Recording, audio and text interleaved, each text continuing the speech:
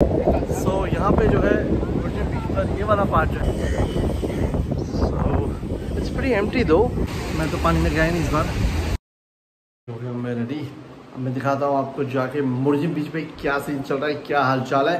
ये मेरे कमरे की हालत फ़िलहाल सब उड़ा जुड़ा पड़ा है। इस टाइम से देख रहे हो क्या धूप ही धूप है वहाँ पर इतनी धूप में आपके ब्लॉग करने वाला हूँ। मैं एक वीडियो को लाइक मार दो सब्सक्राइब कर दो चैनल को। तो ये है फ़िलहाल आराम बीच की वो गली जहाँ से मैं जाऊँगा दिखाऊँगा आपको, मुर्जिम बीच देख लो बहुत सुनसान है। तो ये मेरे पीछे है मुर्जिम बीच की एंट्री मुर्जिम बीच की दो एंट्रीज है। ये एक है और एक दूसरी है, मैं आपको दूसरी भी दिखाऊँगा।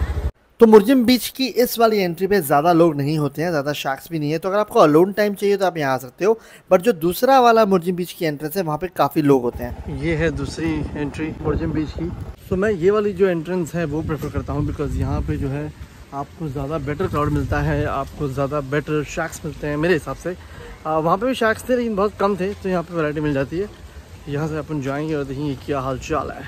तो ये है वो शाक जहाँ से आप एंट्री मारते हो मुर्जिम बीच की। ये शाक भी बड़ा अच्छा है और यहाँ पे आ जाता है मुर्जिम बीच सामने। This is one more shop this is called beach shack.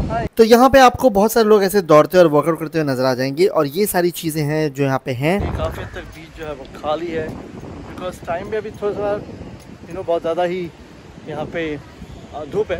सो धीरे धीरे शाम को पब्लिक बढ़ेगी। सो so, यहाँ पे जो है बीच पर ये वाला पार्ट जो है यहाँ पे बहुत सारे लोग हैं। लोग रिलैक्स कर रहे हैं कुछ लोग पानी से आए हैं कुछ लोग पानी में जाने वाले हैं। अलग भी टेल कि जैसे जैसे न्यू ईयर आएगा वैसे वैसे यहाँ पे ज़्यादा लोग आएँगे। There be lot of people Indian crowd भी है। रशियन भी है फॉरनर्स भी हैं। तो यहाँ पे जो है मिक्स क्राउड होता है। मोस्टली यहाँ पे, क्योंकि ये भी यू नो आराम बोल के बाजू में है तो यहाँ पे भी ज़्यादा फॉरन क्राउड होता है। और मैं आपको दिखाता हूँ कि इसका नाम क्या है। Pretty empty though. I was putting more people in here.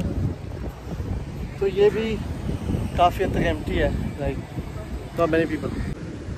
यहाँ पे they have row houses where you can stay as well if you want to like I stay in one of those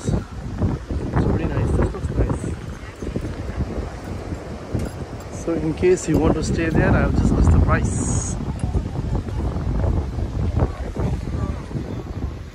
तो मैंने ये बहुत amazing सी एक बात notice की कि देखिए यहाँ पे फ्रेंड्स बैठे हैं।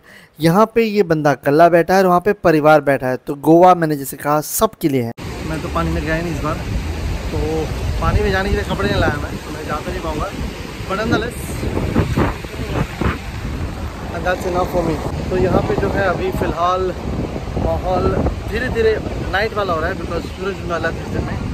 और ये मुझे एक शैक है जो काफ़ी पसंद आया बिकॉज़ काफ़ी विंडी है और यहाँ पे मस्त मज़ा आएगा ऊपर जाके मस्त चिलैक्स करने में। सो ज़रूर चेकआउट करना।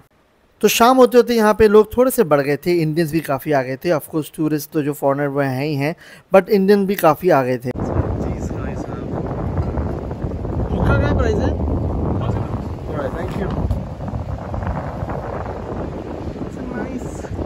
छोटू सा शर्ट I और इन खूबसूरत पंछियों को उड़ते हुए और सूरज को डूबते हुए देखकर मुझे तो बहुत अच्छा लग रहा था। मैं तो बोलूँगा, जो भी आराम बोल बीच आता है, वो मुर्जिम ज़रूर आना बहुत अच्छे नज़ारे होते हैं यहाँ पर।